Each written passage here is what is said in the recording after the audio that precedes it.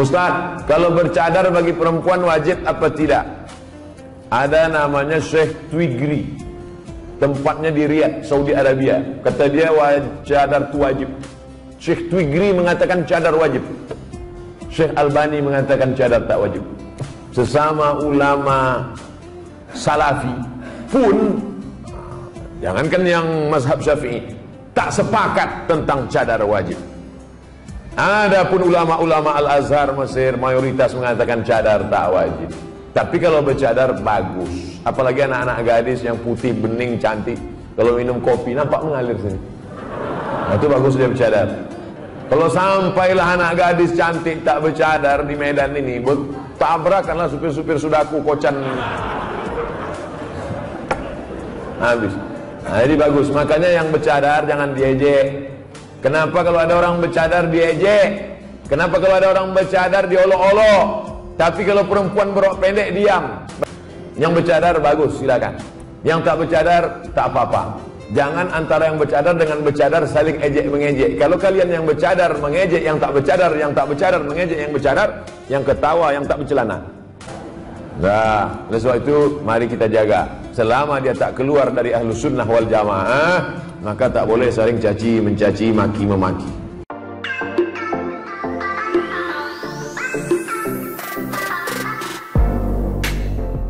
Fahrul Raji, Menteri Agama Islam, bukan. Fahrul Raji, Menteri Agama Republik Indonesia.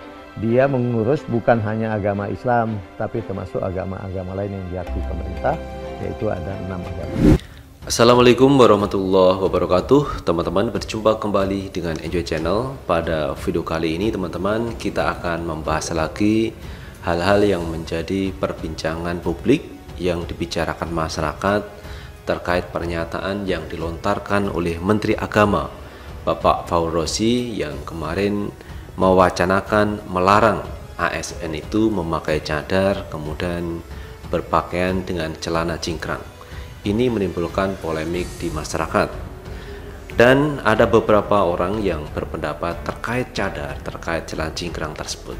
Nah, teman-teman, kemarin saya melihat satu video dari Bapak mantan Kapolri, Bapak Badrudin Haiti, yang mengatakan bahwa celana cingkrang, berjenggot, cadar, ini tidak bisa diidentikan atau distigmakan bahwa orang yang memakai celana cingkrang, kemudian bercadar, berjenggot itu identik dengan radikal.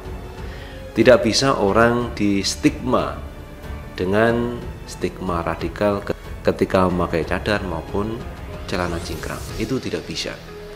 Dan cara untuk mengetahui apakah orang itu terpapar radikalisme itu dengan cara dialog.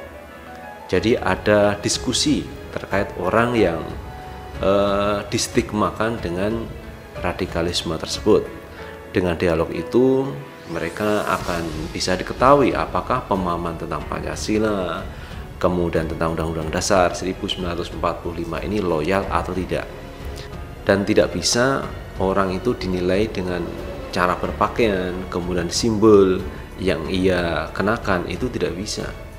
Caranya yaitu dengan diskusi dari diskusi itu apakah nanti dia itu menerima Pancasila atau seperti apa ini baru diketahui apakah orang itu terpapar radikalisme atau tidak. Ini kemarin disampaikan oleh Bapak Badruddin Hati. Dan ini saya pikir cara yang tepat cara yang bagus dengan cara dialog. Jadi bukan cara dilarang. Secara general orang yang uh, celana cingkrang orang yang memakai cadar ini diidentikan dengan radikal. Ini adalah cara-cara yang tidak benar. Itu yang disampaikan oleh Bapak Badrun Haiti ketika beliau menjadi Kapolri. Berarti kan jauh sekali dengan yang sekarang ada yang diwacanakan oleh Menteri Agama. Nah ini teman-teman saya juga akan bacakan pendapat yang lain dari uh, Sekjen Majelis Ulama Indonesia Bapak Kiai Anwar Abbas melihat fenomena yang terjadi terkait dengan cadar dan celana cingkrang. Ada catatan dari suara.com teman-teman. Apa salah cadar dan celana cingkrang Pak Menteri? Ini satu pertanyaan. Saya langsung saja teman-teman pendapat dari Bapak Anwar Abbas mengenai celana cingkrang dan cadar.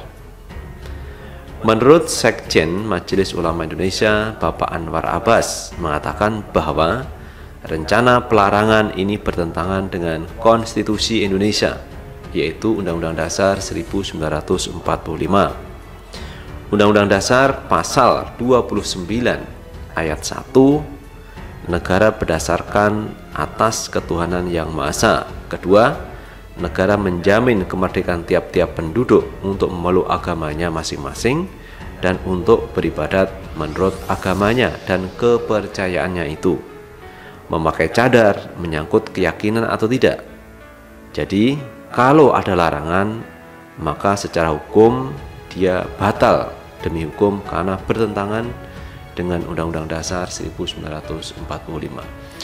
Jadi menurut Bapak Anwar Abbas ini dengan jelas mengatakan bahwa kalau cadar, celana cingkrang ini bagian dari keyakinan, kepercayaan suatu agama, kemudian ini dilarang, maka tentunya akan bertentangan dengan Undang-Undang Dasar 1945 pasal 29 ayat 1 dan 2. Kemudian Bapak Anwar Abbas juga mengatakan cara berpakaian seseorang tidak berhubungan dengan atau menentukan tindakan yang mereka lakukan dalam hal ini masalah keamanan. Ia merujuk pada kasus penembakan masjid di Kriskut, Selandia Baru, yang membunuh orang di Kriskut pakai jubah atau pakaian barat. Kalau begitu, seluruh orang yang berpakaian barat dilarang, karena yang membunuh orang di Kriskut itu pakaian barat oleh karena itu, jangan dilekatkan dengan simbol-simbol. Tingkat kriminalitas, radikalisme, terorisme di barat itu tinggi sekali. Lihat pakaiannya, ada peraturan yang melarang pakaian yang mereka pakai. Tegas Sekretaris Jenderal Majelis Ulama Indonesia, Bapak Anwar Abbas. Kemudian lebih lanjut, Bapak Anwar Abbas, jika kebijakan ini diterapkan akan terjadi perdebatan di masyarakat luas. Ia pun mengimbau Bapak Fahru Rosi melibatkan para ulama untuk membahas kebijakan-kebijakan terkait masalah keagamaan. Kalau menyangkut ajaran agama, panggil ulama, konsultasi dengan ulama, karena yang tahu adalah ulama, kata Bapak Kiai Anwar Abbas. Itu teman-teman pandangan dari Bapak Kiai Anwar Abbas selaku Sekjen Majelis Ulama Indonesia yang memandang bahwa celana cingkrang, cadar itu adalah bagian dari ajaran Islam. Ini bagian dari keyakinan dari umat Islam. Kemarin kita juga pernah bahas teman-teman bahwa celana cingkrang, cadar ini sebagian ulama ada yang mengatakan wajib, sunnah, kemudian mubah. Tidak sampai pada fatwa tentang haram karena ini menyangkut perbedaan pandangan di antara para ulama. Jadi intinya kalau sudah berbeda pandangan ini adalah memang cadar celana cingkrang itu bagian dari keyakinan beragama. Jadi ini kalau dilarang tentu akan berentangan dengan Undang-Undang Dasar. Ini pandangan dari uh, Bapak Kiai Haji Anwar Abbas selaku uh, Sekjen Majelis Ulama Indonesia.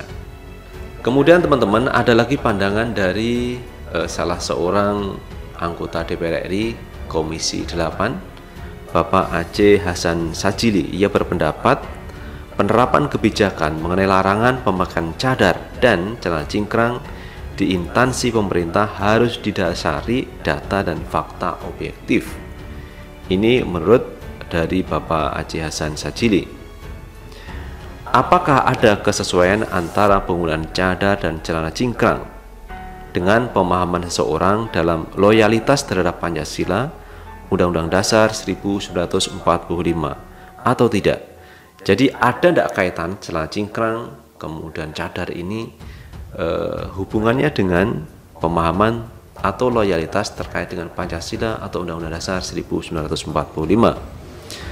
Yang harus dipahami bahwa kebijakan tersebut harus didasarkan pada suatu fakta objektif di mana penggunaan celana cingkrang dan cadar tersebut harus didasarkan pada data yang kuat. Seberapa besar atau seberapa banyak ASN yang menggunakan cadar atau celana cingkrang? Kata politikus Partai Golkar tersebut.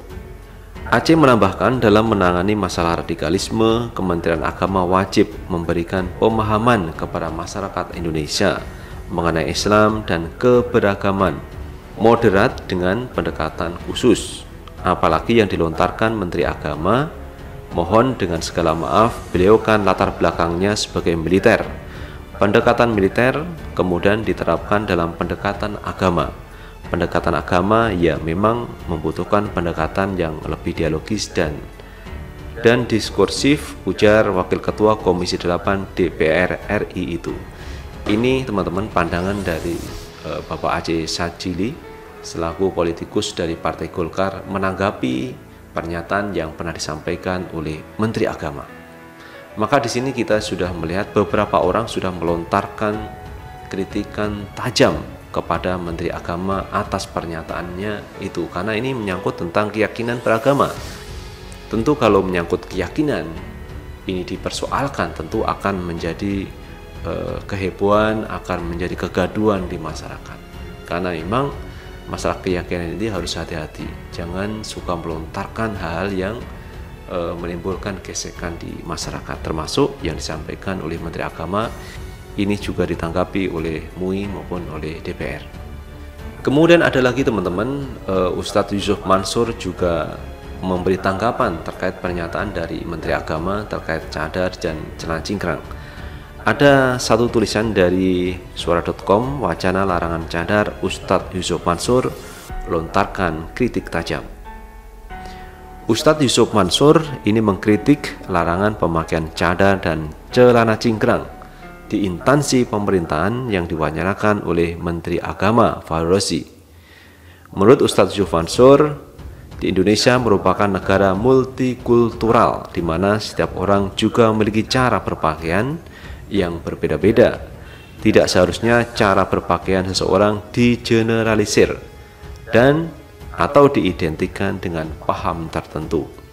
Ini dalam tulisannya Ustadz Yusuf Mansur ini menulis Tidaklah kemudian kita menjadi elok apabila melihat yang berbeda, melihat yang tidak sama, terus kita mengeneralisir dengan satu dasar misalkan kecurigaan. Dengan satu dasar misalkan kekhawatiran. Dengan satu dasar ketakutan. Misalnya khusus soal cadar nikob celana cingkrang yang dikhawatirkan. Dari sana terjadi radikalisme. Terjadi bahaya unsur keamanan dan lain-lain sebagainya. Menurut saya tidaklah tepat ya. Ini kan juga sama. Ini kan juga sudah sama seperti yang mengeneralisir. Ungkap Ustadz Yusuf Mansur. Menurut Yusuf Mansur, segala hal yang digeneralisir berasal dari kekhawatiran dan ketakutan akan sesuatu yang akan terjadi bila tindakan tersebut dilakukan justru menunjukkan sikap tidak bijak. Dan kemudian perkara kenyamanan seseorang mungkin bagi seseorang punya pandangan tertentu yang menganggap memang seluruh badan dari satu tubuh seorang perempuan itu adalah seluruhnya aurat. Hanya matanya saja sehingga dia memakai mikop. Kalau sudah begitu kan kita nggak bisa gitu melarang karena ini perkara sebuah keyakinan. Ini teman-teman pandangan dari Ustadz Yusuf Mansur terkait wacana yang kemarin disampaikan oleh Menteri Agama terkait pelarangan e, pakai cadar kemudian pakai celana cingkrang di ASN. Nah, selang beberapa hari kemudian Menteri Agama meralat pernyataannya bahwa dia tidak berhak untuk melarang orang memakai cadar atau memakai celana cingkrang.